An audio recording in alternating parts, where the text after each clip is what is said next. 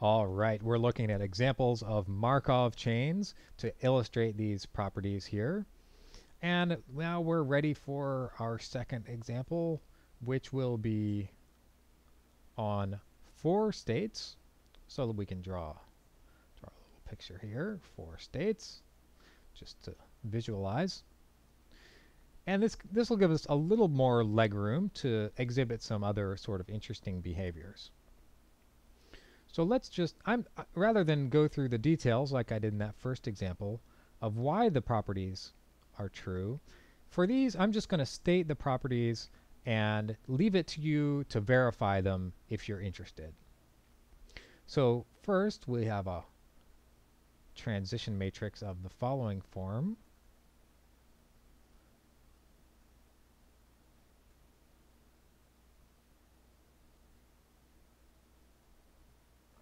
So when you're at state 1, you always have to go to 2. So here you always have to go to 2, you know, with probability 1. When you're at 2, you can go left or right with probability 1 half each way, and same thing for 3. And then when you're at 4, you have to go back to 3. So that's what this says. And this is called a symmetric random walk with reflecting boundaries. So they're called reflect, well, it's called symmetric because when you're in the middle here, you have equal probability of going either direction, so it's symmetric. And when you're at the edge, when you're at the boundary, then you get bounced off. Like if you're at 1 here, then you have to go to 2, so you're so you sort of reflect off and you, you, sort of you sort of bounce off and you go back. And the same thing for 4. You always have to go to 3. And let's think about those properties here. So we had irreducibility. Is it irreducible?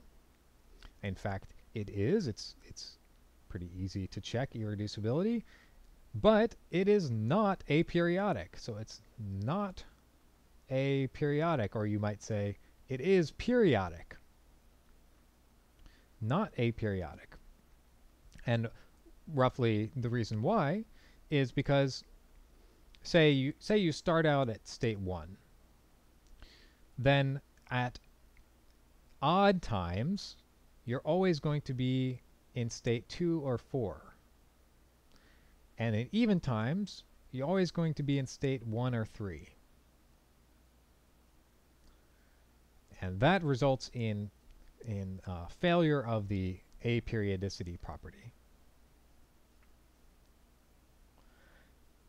And let's see let's think about the stationary distribution. So I worked all this out ahead of time. And this one, it turns out, has the following stationary distribution. 1 sixth, 2 sixths. So this is just a simple algebra exercise, you know, not like abstract algebra or anything, just middle school algebra. You just write down those the equation that you, you have to solve, write down you get some set of equations and you you just solve them and this is what you get. So this is the stationary distribution. So you're sort of spending more time in the middle here and less time at the at the boundaries. Okay that was our first little I'm going to give three examples of transition matrices on four states like this three variations.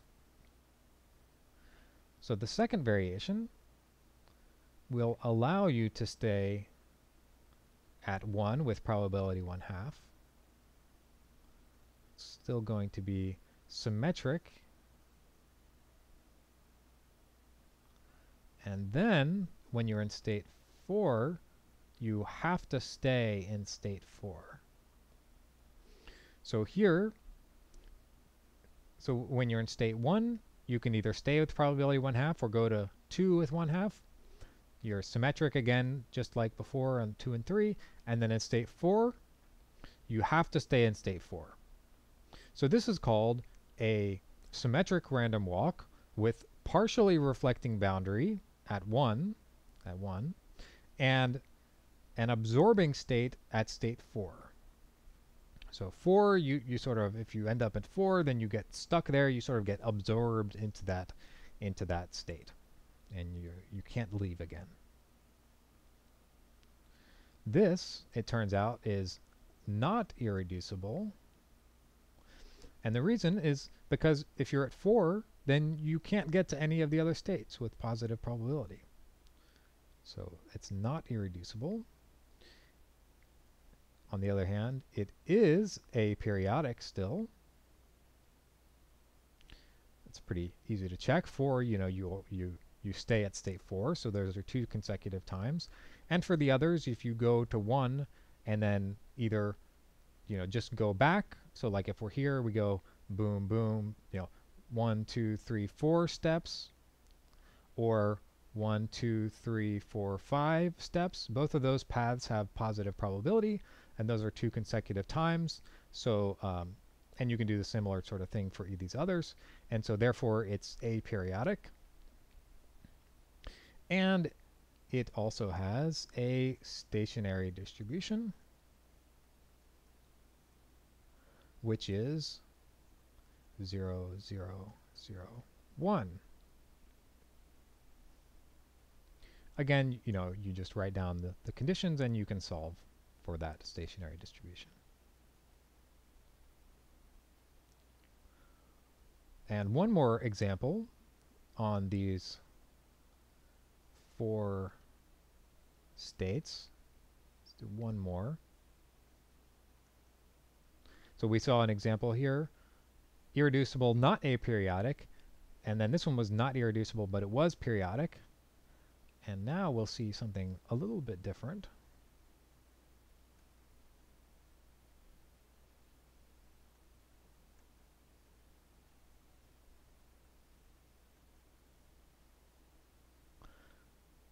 So in this one, you can go back and forth between 1 and 2 here, but you can't get to 3 and 4 from 1 or 2. You can't get to 3 or 4 from 1 or 2. And when you're in 3 or 4, then you can go back and forth between 3 and 4, but you can't get back you can't go to 1 or 2. So this one, it turns out, is not irreducible for exactly that reason, because you can't get from 3 to 2, for example, with positive probability. It is still aperiodic, and that's clear because from any state, you can just stay at that state at the next time. The diagonal here is, is, is, is positive, and so that's a very simple way to see that it's aperiodic. And the interesting thing here is that there are two stationary distributions. So a stationary distribution is not necessarily unique. So we have the following two stationary distributions. Both of these satisfy that inequality. Not, I mean, that equality, not an inequality. Both of them satisfy this. So the idea here is, you know, you got these four and there's sort of like a wall in between. So you can sort of, you know, break it up into two separate Markov chains in some sense.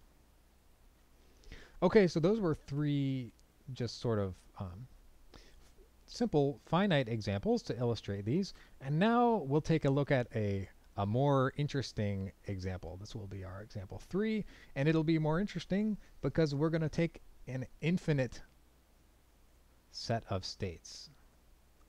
So our set of states now is going to be all the non-negative integers.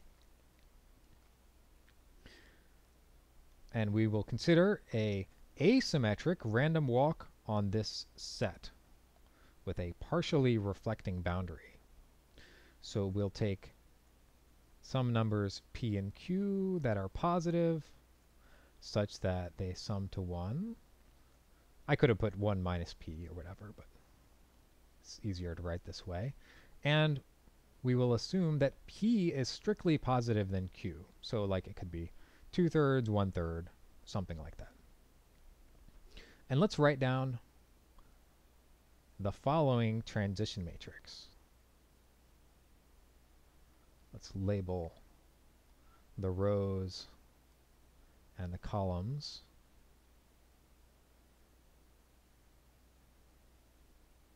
It's going to be an infinite matrix.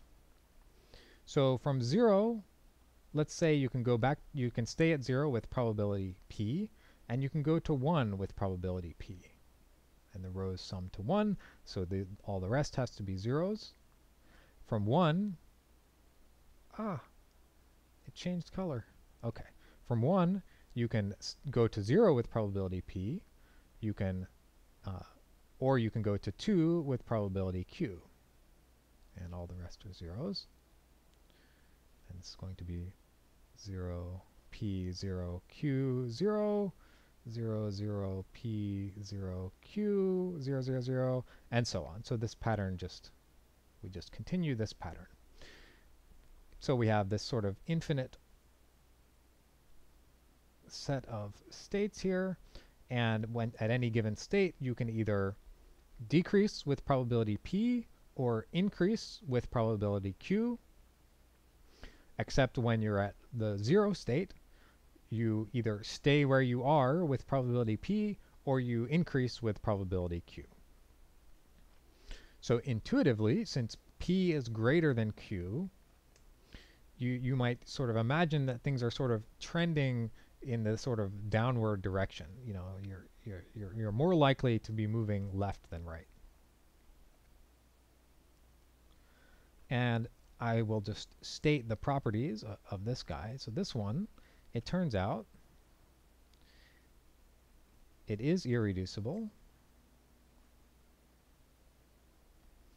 And that's easy to check, you know. I think it's pretty clear. You can just you can sort of uh, probably intuitively just see why that is. Get from any state to another state. There's some path getting there with positive probability.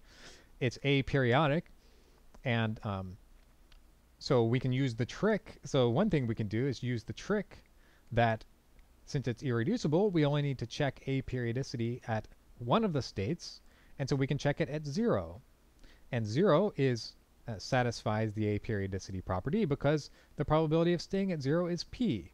So and and p is positive.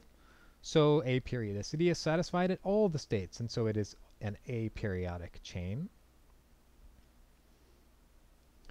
You could also check that by starting at any state and then like going, you know, to 0 and then right back or going to 0 and staying there one step and then going back and that would give you two consecutive times with positive probability uh, where you, you know, started at that state and ended at that state. So it's aperiodic and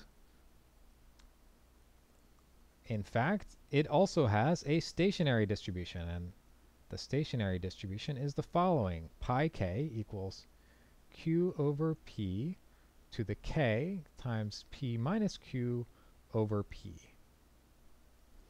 And this so this is for all k, 0, 1, 2, and so on. Again, you know, you just write down the set of equations that you have to solve here. And this takes a, actually this takes a, a, bit of work to to prove.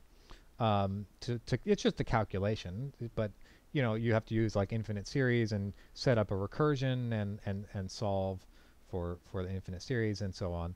But it's it's not um, it's not extraordinarily difficult.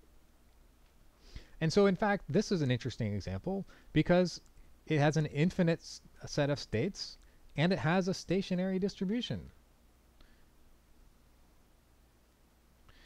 So that's our first first part of this example and the second part so so far everything we've looked at has a stationary distribution but if we take everything the same same transition matrix same set of states P and Q, all this, except instead of P being greater than Q, we say P is less or equal to Q. For example, you know, P equals Q equals 1 half. Then it's still irreducible and aperiodic. That's not hard to check. But it has no stationary distribution. No stationary distribution. So it's possible for it to have no stationary distribution. And the reason is that the mass is sort of escaping off to infinity here.